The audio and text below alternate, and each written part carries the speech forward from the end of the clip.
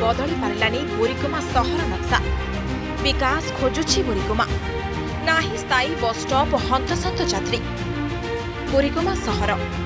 ବେଶ୍ ଜନଗହଳିପୂର୍ଣ୍ଣ ସ୍ଥାନ। କିନ୍ତୁ ଏଠାରେ ନାହିଁ ଆନୁଷଙ୍ଗିକ ବ୍ୟବସ୍ଥା। ଯାତ୍ରୀଙ୍କ ପାଇଁ ନାହିଁ କୌଣସି ସୁବିଧା। ସହରରେ ଆଜି ପର୍ଯ୍ୟନ୍ତ ସ୍ଥାୟୀ ବସ୍ଷ୍ଟାଣ୍ଡଟିଏ ହୋଇପାରିଲା ନାହିଁ। ଜାତୀୟ ରାଜପଥ ହିଁ ପାଲଟିଛି ବସ୍ଷ୍ଟାଣ୍ଡ ପ୍ରତ୍ୟେକ ଦିନ ଶହ ଶହ ଗାଡ଼ି ମଟର ଚଳାଚଳ କରୁଛି। ବୋରିଗୁମା ଦେଇ ପଡ଼ୋଶୀ ରାଜ୍ୟ ଛତିଶଗଡ଼ ଆନ୍ଧ୍ରପ୍ରଦେଶ ହାଇଦ୍ରାବାଦ ଭୁବନେଶ୍ୱର ଭଳି ଦୂରଦୂରାନ୍ତକୁ ବସ୍ ଯିବା ଆସିବା କରେ। ଶୌଚାଳୟ ନ ଥିବାରୁ ହଇରାଣ ହେଉଛନ୍ତି ମହିଳାମାନେ।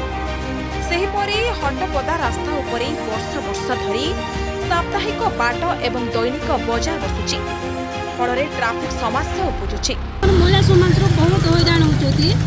ଆମର ନିହାତି ଦରକାର ଲାଟ୍ରିନ୍ ଗୋଟେ ଦରକାର ବାଥରୁମ୍ ଗୋଟେ ଦରକାର ଆମର ପବ୍ଲିକର ବହୁତ ହଇରାଣ ହେଉଛନ୍ତି ଯେଉଁ ଲୋକ ଭିଡ଼ରେ କେଉଁ ସାଇଡ଼୍ରେ ମଧ୍ୟ କ'ଣ କରିଦେବାକୁ ପଡ଼ୁଛି ଏକ ମଧ୍ୟ ବାଧ୍ୟ ହୋଇକି ତାଙ୍କୁ ବସିବାକୁ ପଡ଼ୁଛି ସେଇଟା ପାଇଁ ନିହାତି ଦରକାର ଏବେ ବିଜେପି ସରକାର ଆଇଛି ନିଶ୍ଚୟ ଗୋଟେ ପବ୍ଲିକ ସପୋର୍ଟ ପାଇଁ ବୋଲିକିରି ତାଙ୍କୁ ଦିଆଯାଉ ଲାଟ୍ରିନ୍ ବାଥରୁମ୍ କରାଯାଉ ସେତିକି ମୁଁ ଅନୁରୋଧ କରୁଛି ପରିମାଣ ଦେଖନ୍ତୁ ଗୋଟେ ବିରାଟ ସମସ୍ୟା ହେଉଛି ଜନଗହଳି ସ୍ଥାନରେ ଶୌଚାଳୟର ଅବସ୍ଥା ଅଭାବ ସ୍ଥାୟୀ ବସ୍ଷ୍ଟାଣ୍ଡର ଅଭାବ।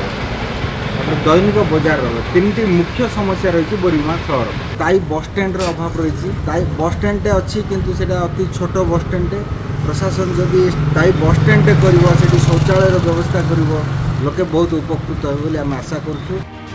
ସଦର ମହକୁମାର ତେରଟି ପଞ୍ଚାୟତବାସୀଙ୍କ ସହ ସାଧାରଣ ଯାତ୍ରୀ ହଇରାଣ ହେଉଛନ୍ତି ସତ। କିନ୍ତୁ ପ୍ରଶାସନର ନାହିଁ ଦେଖିବା ବସ୍ଷ୍ଟପ୍ ଏବଂ ଶୌଚାଳୟଟିଏ ନିର୍ମାଣ କରିବା ପାଇଁ ଅନୁରୋଧ କରିଛନ୍ତି ଯାତ୍ରୀ। ସ୍ଥାୟୀ ବସ୍ଷ୍ଟାଣ୍ଡଟିଏ ନିର୍ମାଣ ହୋଇଥିଲେ ଯାତ୍ରୀ ଉପକୃତ ହୋଇପାରନ୍ତେ ବୋଲି କହିଛନ୍ତି ସ୍ଥାନୀୟ ବାସିନ୍ଦା। ବୋରିଙ୍ଗା ସମସ୍ୟା ତ ଟ୍ରାଫିକ୍ ସମସ୍ୟା ବହୁତ ଅଛି।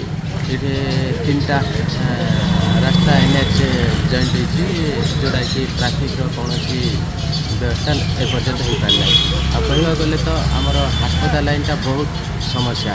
ସେପଟେ ହାଟ ବି ରୋଡ଼ ରାସ୍ତାରେ ବସୁଛି ତା'ର କୌଣସି ବ୍ୟବସ୍ଥା ଏବେ ପର୍ଯ୍ୟନ୍ତ ହୋଇପାରୁନାହିଁ କୌଣସି ପ୍ରଶାସନ ସେ ପ୍ରତି ଦୃଷ୍ଟି ଦେଉନାହାନ୍ତି।